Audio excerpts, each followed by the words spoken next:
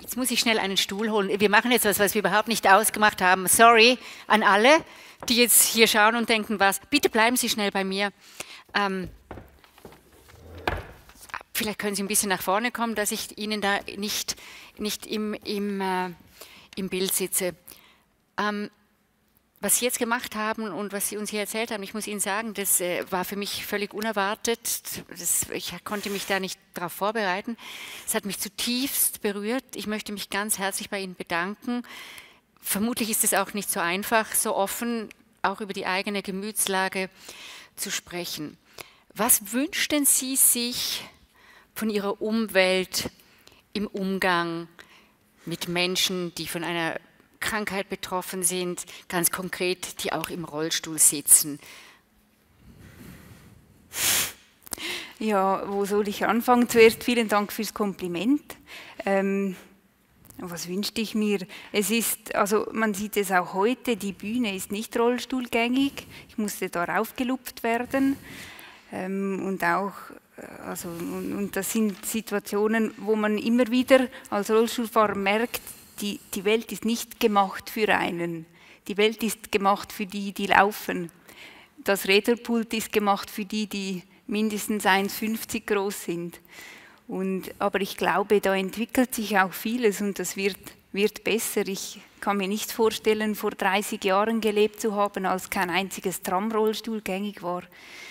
Ähm, drum also sicher diese, diese ganzen Infrastrukturen und auch was heute schon genannt wurden, die, die, die administrative Chaos, dass ich könnte gut eine Sekretärin anstellen, die meine Arbeit, also das ist unglaublich. Damit meinen Sie IV-Anträge, ja, genau. alle diese Geschichten. Genau. Mhm. Aber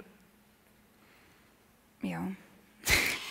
Glauben Sie, dass Sie als persönlich Betroffene einen anderen Zugang haben, zum Beispiel zu Eltern, die jetzt ganz neu mit dieser Diagnose konfrontiert werden, dass ihr Kind, wie Sie vorhin gesagt haben, eben nicht so viel machen kann oder weniger machen kann oder anderes machen kann als andere Kinder?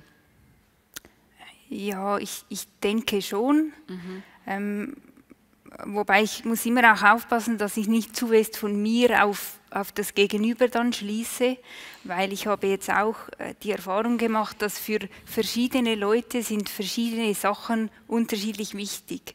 Mhm. Also für mich ist es so, dass solange ich, mein Kopf gut funktioniert, dann, das, dann bin ich zufrieden.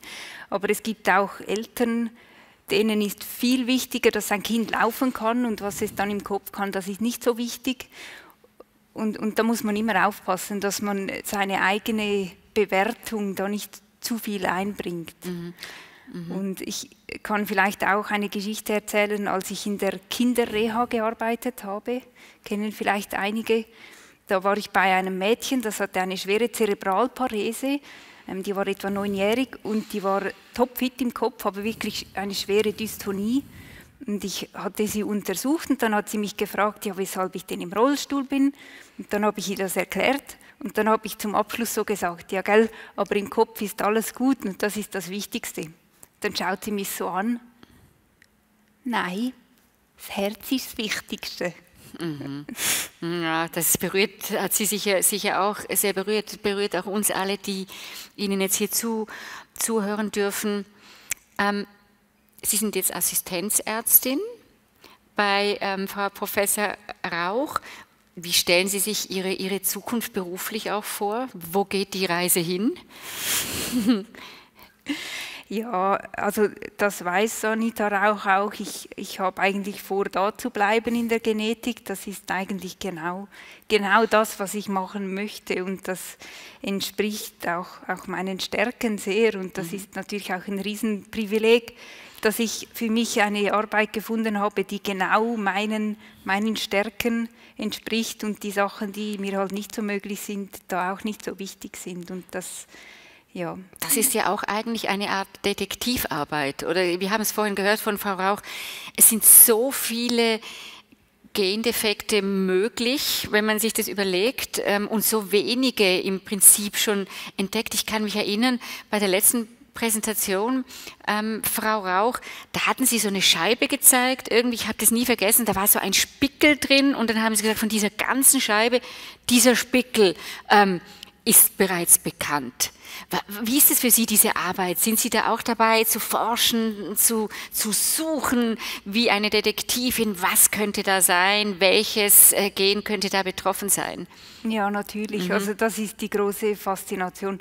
Also da, für mich ist das das Beste, wieso die Genetik überhaupt der, beste Beruf ist, den ich mir vorstellen kann, ist, es ist eine Kombination aus diesen extrem zwischenmenschlich, sozial hoch anspruchsvollen Gesprächen, die Diagnosemitteilung in Kombination mit der Wissenschaft. Und es mhm. ist einfach pure Wissenschaft.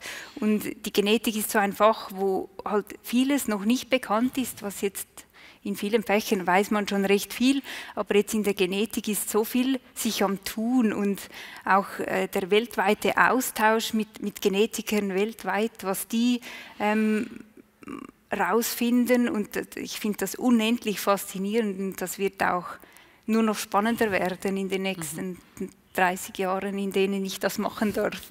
Wir möchten uns bei Ihnen bedanken. Dieses Interview war nicht abgesprochen und wir hab, ich habe Sie nicht mal gefragt, ob Sie bereit sind, äh, mir die Fragen zu beantworten. Äh, dafür entschuldige ich mich jetzt noch nachträglich. Ich habe Sie überfallen, aber das war wirklich, wirklich wunderbar von Ihnen. Herzlichen Dank. Ich bin davon überzeugt, dass wir alle ganz viel gelernt haben. Und ich wünsche Ihnen persönlich alles, alles Gute gesundheitlich und natürlich ähm, wunderbare Momente auch in Ihrer Arbeit und viele Forschungserfolge. Bleiben Sie dran und decken Sie diese geheimnisvollen Welten auf für uns. Dankeschön. Herzlichen Dank.